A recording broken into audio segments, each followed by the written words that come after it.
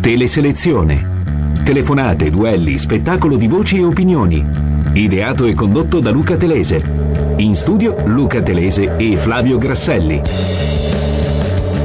Tu, dai, vecchio! Ma chi spara? Sono sbarcati. Dammi la linea militare, presto! Il signor colonnello! Signor colonnello, tenente Innocenzi, accade una cosa incredibile! I tedeschi si sono alleati con gli americani! No! Allora tutto è finito, signor colonnello! Ma non potreste avvertire i tedeschi che stanno continuando a sparare! Mi scusi, signor colonnello, ma cerchi di comprendere. Io ero all'oscuro di tutto. Quali sono gli ordini? Quali sono gli ordini? gridava l'8 settembre in quel capolavoro della cinematografia italiana che è tutti a casa Alberto Sordi, Alberto Sordi chiuso nella sua caserma con i tedeschi che si sono alleati con gli americani e ci sparano addosso, stare dentro una guerra e non capire da che parte si sta, stare dentro una guerra e seguire la logica della vecchia guerra ed esserne ingannati. Abbiamo pensato, ho pensato mentre ieri mi domandavo che cosa passava nella testa dei Marò a questo film che un, per me è un grande ammaestramento. Ho pensato a questi Marò prima vezzeggiati eh, caricati su una nave, una nave mercantile, dicendo andate ragazzi, fate il vostro dovere, con le loro berrette, i loro occhiali specchiati, eh, poi dopo improvvisamente trasformati in eroi, dopo invece un tragico incidente, hanno sparato su dei pescatori, li hanno sparato e li hanno uccisi,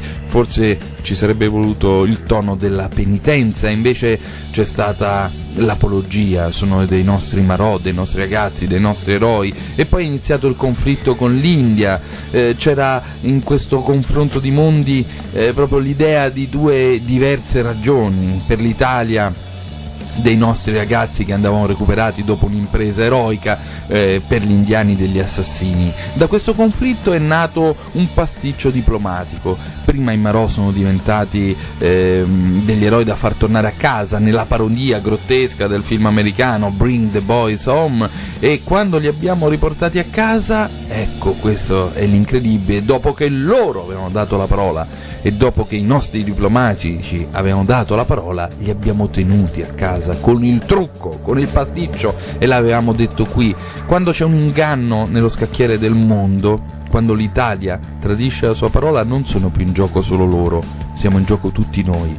E quindi i Marò sono diventati un simbolo, un simbolo di questo paese, i nostri diplomatici provavano a dire che era tutto a posto e il nostro ambasciatore finiva al confine domiciliare. A questo punto i ragazzi sono diventati dei disertori, de- dei militari che tradivano la cosa più sacra che un soldato ha, e cioè che è il senso del rispetto per quello che dice e per quello che promette. E alla fine di questo pasticcio alla fine di questo pasticcio vergognoso abbiamo deciso, il nostro governo ha deciso che dopo la figuraccia di aver tradito la parola se ne sommava un'altra, li rimandiamo a casa. Ed ecco che da disertori diventano anche loro dei traditi da questo Stato, il cerchio si chiude, li rimandiamo a casa, vale più la vita dell'ambasciatore a questo punto che quella dei Marò. E questi due ragazzi che ora diventano due padri traditi devono andare in India con la rassicurazione grottesca che, beh, però non c'è la pena di morte. Allora oggi che Flavio non c'è, sono qui con Roberto Corradi, che già conoscete come direttore del Ruvido, e il venerdì eh, un po' scherziamo, un po' piangiamo, ma bisognerebbe veramente piangere su questo simbolo. Non è un simbolo isolato, questo è il giorno decisivo, il giorno in cui si vede con l'incarico a Bersani che cosa accadrà di questo governo. E questo è il giorno in cui uscendo dalle consultazioni uno dei due capigruppi grillini, Crimi, è andato davanti alla diretta streaming a dire una parola che apparentemente può sembrare leggera, è andato a dire Beppe è stato così bravo che è riuscito a non farlo addormentare napolitano. Anche qui c'è un piccolo tradimento Napolitano che dà ripetizioni di bon ton ai grillini, Grillo che capisce a che posto deve stare e per il gusto dell'apologia invece il suo sottopanza si prende la soddisfazione di questo sberleffo. Ah, l'ha tenuto sveglio. In realtà siamo tutti noi che non dormiamo in questa crisi e sono loro pazzi che cantano mentre rischiamo veramente grosso. Teleselezione comincia qui. Più dolce amica mia, è bello che tu sia vivace, svelta e carina come me. Poi con la fantasia e un tocco di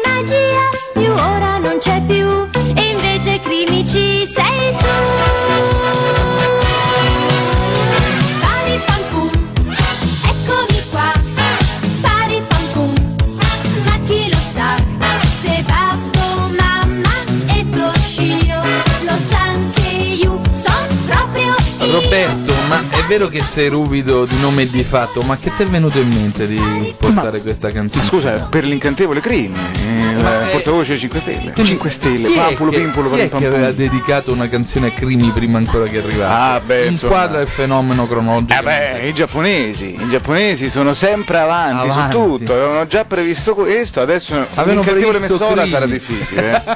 sarà un po' più difficile. Ma hai fatto E, caso che questi anche la, la- la- la- un po' la rapace, come si chiama la, la capogruppo alla Camera? La, La- Martinelli. la- no, no, no, Martinelli è il portavoce. La. Oh, la, momento d'Alzheimer ci può capitare. la capogruppo dei 5 Stelle. Eh. Guarda come stiamo qua. Ma tanto non è importante, basta sapere che c'è Grillo, tutto il resto è una derivazione.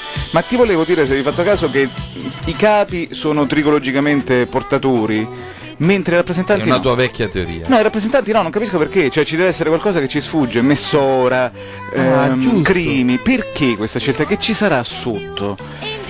Sotto niente, appunto, si vede. No, non c'è più. Ma a proposito di tradimenti, Perché forse dicevi, chi è tricologicamente affranto si lega a chi è tricologicamente florido. Può darsi, quindi nella media sono come gli altri partiti.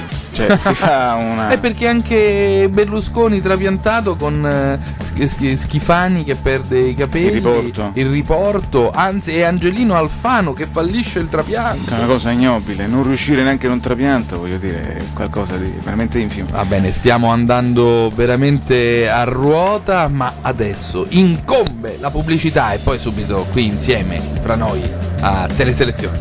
Finora, nonostante la dimensione del successo elettorale, non è stata data alcuna rappresentanza istituzionale al Movimento la 5 Stelle, non la presidenza della Camera, non la presidenza del Senato, che sono stati oggetti di contrattazione e mercanteggiamento tra i partiti e non espressione del riconoscimento della volontà popolare.